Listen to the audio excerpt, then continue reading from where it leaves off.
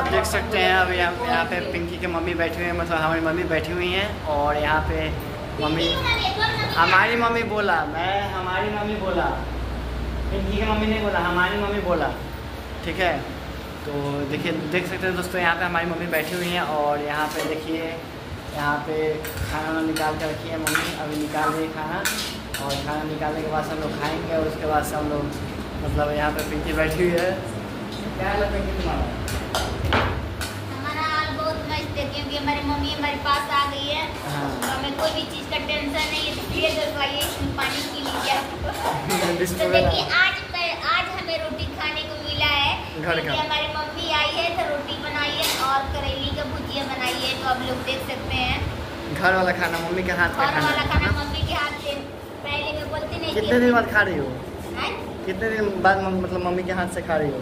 Mummy घर पे गए थे तो खैली पिए घर पे। तो अभी एक महीना हो गया ना?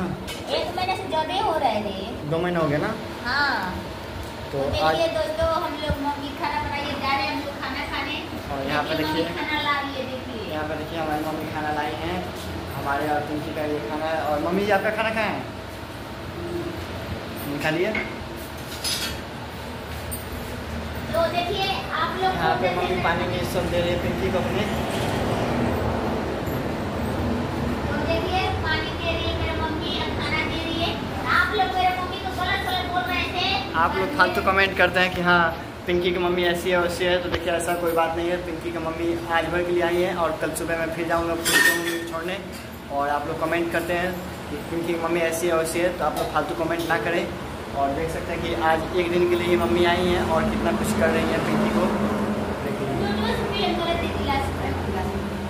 मम्मी मेरे लोटे से पी लेने जाओ मम्मी तो बोतल से पीने पी लेने जाए बोतल में पानी नहीं दे रहे थे?